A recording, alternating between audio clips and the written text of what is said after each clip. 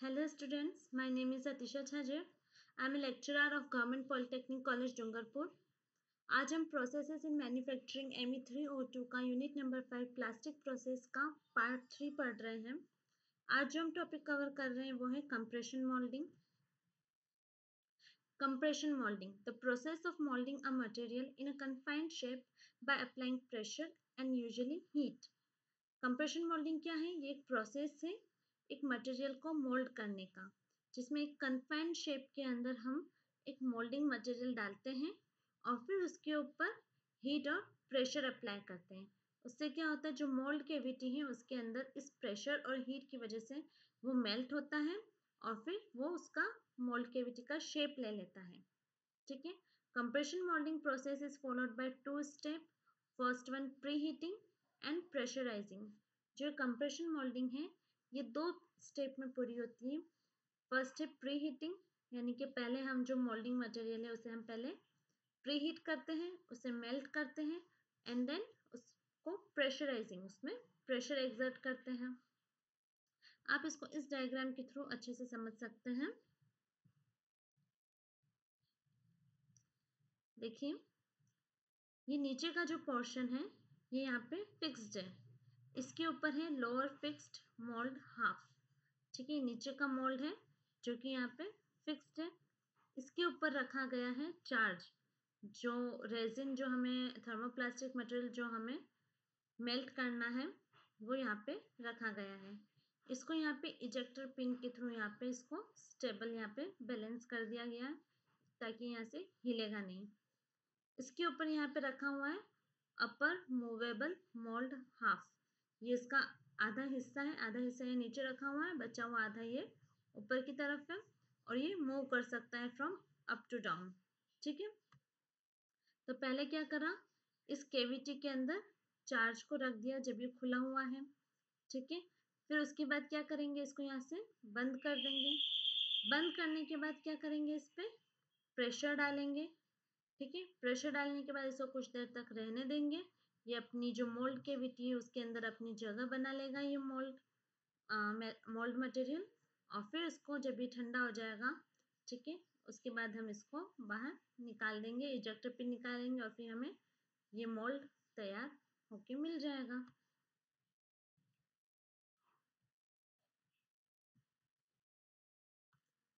क्या हो रहा है पहले? Charge is placed in cavity of matched mould in the open position सबसे पहले चार्ज रखा जब ये खुला हुआ था। Mould is close by bring the two halves together. Mould को बंद कर दिया, दोनों हाफ्स को मिला के। Pressure is exerted to squeeze the resin so that it fills the mould cavity. उसके बाद क्या करा? प्रेशर डाला गया। तो उससे क्या हुआ? जो ये रेजिन है, ये चार्ज जो है, ये स्क्वीज हुआ। ठीक है, स्क्वीज होने से मतलब दबा। दबने से क्या हुआ? इसने जो मोल्ड केविटी के अंदर जो स्पेस थी, वो उसने पूरी तरह से भर दी। Well under pressure the mould is heated which cures the resin और फिर क्या होता है? प्रेशर में इसको गर्म करते हैं। गर्म करने के बाद इसके अंदर जो भी केमिकल रिएक्शंस होती है, वो होती है और फाइनल मोल्ड ऑप्टेन हो जाता है। हम इस कंप्रेशन मोल्डिंग को इस कंप्रेशन मोल्डिंग साइकिल के थ्रू समझ सकते हैं।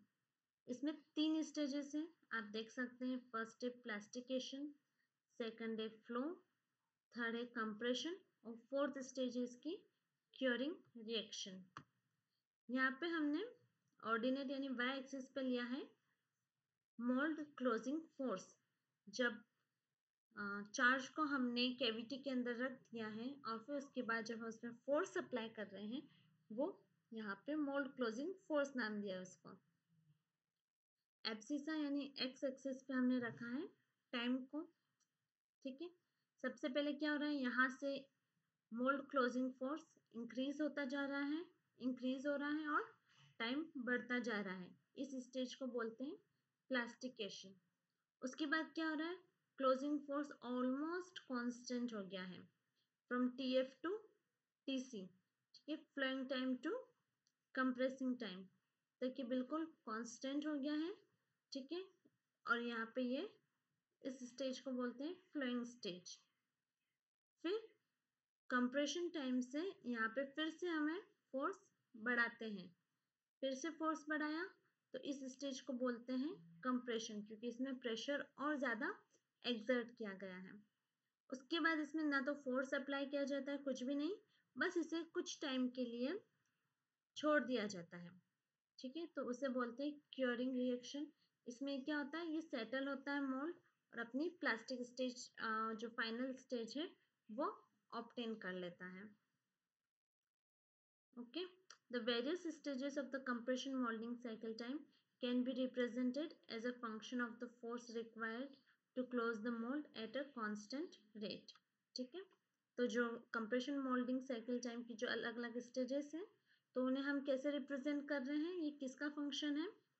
Force required to close the mould at a constant rate एक कांस्टेंट रेट पे जो फोर्स अप्लाई कर रहे हैं उसका इन दोनों को रिप्रेजेंट करते हुए हम ये compression moulding cycle time draw करते हैं। In the plastification stage, the force increases rapidly as the polymer feed is compressed and heated. ठीक है? यहाँ पे यहाँ से यहाँ तक क्या हो रहा है? क्लोजिंग फोर्स बढ़ता जा रहा है और जो हमने अंदर थर्मोसेटिंग प्लास्टिक पॉलीमर जो भी हमने पोर किया है, वो क्या हो रहा है? उस पर प्रेशर लगता जा रहा है और वो हीट होता जा रहा है। ठीक है? हीट होने के बाद क्या हो जाएगा वो? गर्म हो जाएगा। गर्म हो जाने के बाद वो मेल्ट होना लगे मेल्ट होने लगेगा। तो उससे क्या हो जाएगी इसकी? यील्ड स्ट्रेस आ जाएगी और यील्ड स्ट्रेस डेवलप हो जाएगा। ठीक है? तो in second stage flow commences once the yield stress of the elastomer is exceeded उसके अगर यील्ड पॉइंट तक आ जाएगी हीट करने के बाद जैसे यील्ड पॉइंट पे आएगा तो क्या आएगा वो? मेल्ट होने लग जाएगा। तो मेल्ट होने की वजह से क्या हो जाएगा? फ्लो करना स्टार्ट हो जाएगा। फ्लो करने से क्या होगा? वो जो कैविटी है, उसको वो चार्ज पूरी तरह से भर देगा और उसकी शेप ले लेगा। TC is the point at which the mold fills and compression of the melt occurs. ठीक है? जो TC है टाइम TC जब स्टेज आ जाती है, तब क्या होगा?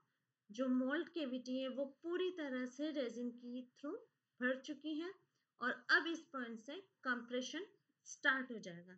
यानी कि प्रेशर डालना और स्टार्ट हो जाएगा। Mould filling the majority of chemical reaction should take place after TC ठीक है? उसके बाद इसके ऊपर और प्रेशर एग्जर्ट किया जाएगा कंप्रेशन स्टेज आ जाएगी और इसके बाद केमिकल रिएक्शन के थ्रू इसमें एक स्टेबल ये अपनी कंडीशन केमिकल स्टेबिलिटी प्राप्त कर लेगा। ठीक है? उसके बाद क्या आती है? क्यूरिंग रिएक्शन ठीक है? क्या होता है ये? Cure time the period required to harden thermosetting material to partial and complete polymerisation is called cure time ठीक है?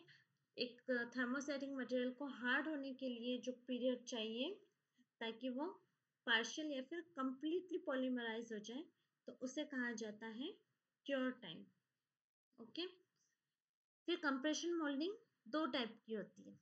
एक है शीट मोल्डिंग कंपाउंड्स और एक है bulk moulding compounds sheet moulding नाम से समझ में आ रहा है ये शीट बनाती होगी, ठीक है? Sheet moulding process involves placing a reinforcement such as glassmat between sandwiching layers of a thermoplastic and heating the material to produce a single sheet of material. ठीक है? इसमें क्या होता है? जो reinforced material है, उसे वो जो होती है, वो एक ग्लासमेट की बनी होती है, बिल्कुल पतली होती है। ठीक है? ग्लासमेट की तरह उसका वो होता है स्ट्रक्चर उसको दो लेयर्स के बीच में रखा जाता है। ठीक है? और फिर उसको हीट किया जाता है। हीट करने से क्या होता है? वो मेल्ट होता है और फिर एक सिंगल शीट प्राप्त हो जाती है।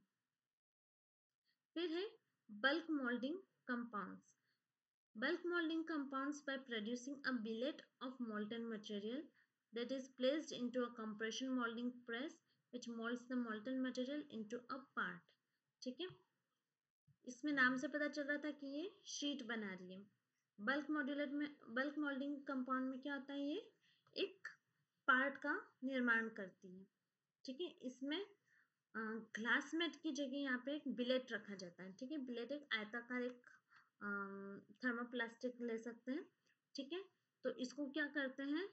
पहले रखते हैं और फिर उसके बाद इसमें उसको कंप्रेशन मोल्डिंग प्रेस के थ्रू इस पर प्रेशर एग्जर्ट किया जाता है, ठीक है? उस वजह से क्या होता है? ये जो बिलेट है, ये क्या होता है? ये मेल्ट होता है और फिर ये अपनी कैविटी उसको फिल कर देता है और वो एक डेफिनेट शेप ले लेता है और एक पार्ट प्रोड्यूस हो जाता है। ठीक है? तो ये हो गए टाइप्स ऑफ़ कंप्रेशन मोल्डिंग अब हम इसमें क्या क्या मटेरियल यूज़ करते हैं? कौन कौन से मटेरियल यूज़ होते हैं? Thermosetting polymers fibre reinforced composite और थर्मोप्लास्टिक ये आप मटेरियल यूज़ कर सकते हैं इसमें ड्यूरिंग दी कंप्रेशन मोल्डिंग ठीक है? Thermosetting polymers fibre reinforced composite and thermoplastic अब इसके एडवांटेजेस क्या क्या है? फ़र्स्ट लो कॉस्ट ये जो है, इसको जब आप रन करते हैं तो इसमें खर्चा नहीं आता है, ठीक है?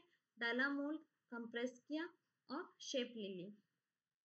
यूनिफॉर्म डेंसिटी यूनिफॉर्म डेंसिटी क्यों? क्योंकि इसमें जो प्रेशर जो अप्लाई हो रहा है, वो हर तरफ़ से बराबर बराबर लग रहा है, ठीक है? ऐसा नहीं कि किसी एक पार्ट पर ज़्यादा लग रहा है, किसी एक पार्ट पर कम लग रहा है। तो जो डेंसिटी जो ऑप्टेन होगी हमें मटेरियल की, वो यूनिफॉर्म होगी, ठीक कहीं पे ज़्यादा घनत्व, कहीं पे कम घनत्व नहीं होगा। Uniform shrinkage due to uniform flow ठीक है? जब हम इसको बाद में क्योरिंग टाइम पीरियड पर रखते हैं तो क्या होता है थोड़ा श्रिंक होता है, ठीक है? तो पूरा मटेरियल एक ही थर्मोप्लास्टिक का बना हुआ है यूनिफॉर्म डेंसिटी है इसकी तो इसका जो श्रिंकेज होगा वो भी यूनिफॉर्म होगा, ठीक है? क्योंकि इसके अंदर जो फ्लो हुआ है वो भी यूनिफॉर्म हुआ है। फिर है इम्प्रूव्ड इम्पैक्ट स्ट्रेंथ ठीक है? ये क्या हो रहा है? कंप्रेशन के थ्रू ये पार्ट बन रहा है। तो जब इसमें इम्पैक्ट स्ट्रेंथ जो होगी, वो इसकी ज़्यादा होगी। जो इम्पैक्ट के थ्रू जो फोर्स सहने की जो शक्ति होती है, वो कंप्रेशन मोल्डिंग के प्रोसेस से जो पार्ट बनता है उसमें ज़्यादा अच्छी होती है। डायमेंशनल एक्यूरेसी जिस डायमेंशन का हमें मटेरियल बनाना है, उस डायमेंशन का आराम से बना सकते हैं। क्योंकि इसमें क्या है मोल्ड कैविटी में मोल्ड रखना है, वो मेल्ट होगा तो जो उसकी साइज़ होगी, उस हिसाब से वो उसका शेप ले लेगा मेल्ट होके। तो इसमें हमें एक डेफिनेट शेप जो हमें चाहिए, वो हमें मिल जाती है। तो डायमेंशन बिल्कुल इसमें एक्यूरेट होते हैं। फिर है हाई वॉल्यूम प्रोडक्शन जब भी बहुत ज़्यादा अमाउंट में हमें कोई मटेरियल प्रोड्यूस करना है तो उसके लिए कंप्रेशन मॉल्डिंग का यूज़ किया जाता है। ये काफ़ी ज़्यादा मात्रा में जो हमें पार्ट्स चाहिए, उसे रेगुलरली प्रोड्यूस कर सकता है। फिर पढ़ते इसकी डिसएडवांटेजेस क्या है। इसके लिमिटेशंस क्या है, इसके नुकसान क्या क्या है। क्योरिंग टाइम लार्ज जहाँ जो इसको हार्डन होने के लिए जो टाइम चाहिए वो ज़्यादा होता है। तो उसके लिए क्या होता है, हमें हर पार्ट के बाद वेट करना पड़ता है। हमें डायरेक्ट वो पार्ट मिल नहीं जाता, उसके लिए हमें थोड़ा वेट करना पड़ता है, ठीक है? तो वेट करने से क्या होता है जो एफिशिएंसी है वो डिक्रीज होती है। अनइवन पार्टिंग लाइंस प्रेजेंट ठीक है? जो दो मोल्ड को, दो जो मोल्ड हाफ्स हैं, उन दोनों को जब मिलाते हैं तो उसके बीच में जो लाइन बनती है, उसे बोलते हैं पार्टिंग लाइंस है ना? तो जो भी मटेरियल बनता है, उसके साइड साइड में किनार पे एक लाइन और बन जाती है। तो ज़रूरत नहीं होती है, लेकिन वो दोनों मटेरियल को प्रेस करने से थोड़ी जो बाहर जो एक मेल्ट होके जो थोड़ा मटेरियल निकल जाता है तो वो एक लाइन की तरह उसका शेप ले लेता है। ठीक है तो वो अनवांटेड होती है तो उसकी ज़रूरत नहीं होती, बाद में उसको वापस हटाना पड़ता है तो ये अनवांटेड चीज़ें आ जाती हैं। फिर स्क्रैप कांट भी रिप्रोसेस्ड ठीक है? इसके अंदर हमें या तो बिलेट यूज़ करना है, या फिर ग्लासमेट यूज़ करते हैं। तो जो स्क्रैप मटेरियल है, जो जो हम इसमें दूसरे जो प्लास्टिक प्रोसेस में जो हमने यूज़ किया था, ठीक है? तो वो हम इसमें, जैसे इंजेक्शन मोल्डिंग में आप स्क्रैप मटेरियल यूज़ कर सकते हैं, लेकिन इसमें आप स्क्रैप मटेरियल नहीं यूज़ कर सकते, क्योंकि इसमें ग्लासमेट या फिर बिलेट इसे को यूज़ करना है, ठीक है? तो उस उस तरह से यहाँ पे काम नहीं आते scraps high initial capital investment इसकी प्रोसेसिंग का जो खर्चा है वो कम है, लेकिन जब हमें मशीन्स वगैरह को जो सेटअप करना पड़ता है, उसके लिए बहुत हाई इनिशियल कॉस्ट लगती है तो वो इसका एक डिसएडवांटेज है। इसके एप्लीकेशंस क्या क्या है, ये कहाँ कहाँ यूज़ होता है? डिनर वेयर यानी कि आप जो खाने के बर्तन जो हम यूज़ करते हैं वो इससे बन सकते हैं कंप्रेशन मोल्डिंग से। बटन्स नोब्स नोब्स जैसे नॉब इसकी जैसे आपके चूल्हे की जो नॉब होती है है ना, वो इससे बन सकती है। हाउसिंग अप्लायंसेस यानी कि जो भी जैसे स्विच वगैरह हैं, वो इससे बन सकते हैं। रेडियो केसेस ऑटोमोटिव जो पार्ट हैं, वो इससे बन सकते हैं। एश ट्रे ठीक है, ये बन सकती है। इलेक्ट्रिकल पार्ट्स, अधिकतर जो इलेक्ट्रिकल पार्ट्स हैं वो कंप्रेशन मोल्डिंग के थ्रू बनते हैं। काफ़ी सारे जो इलेक्ट्रिकल पार्ट्स हैं, वो इसके, क्योंकि इसमें थर्मोसेटिंग मटेरियल यूज़ करते हैं तो कंप्रेशन मोल्डिंग के थ्रू इसके काफ़ी सारे पार्ट्स बन जाते हैं। ठीक है? Okay students thank you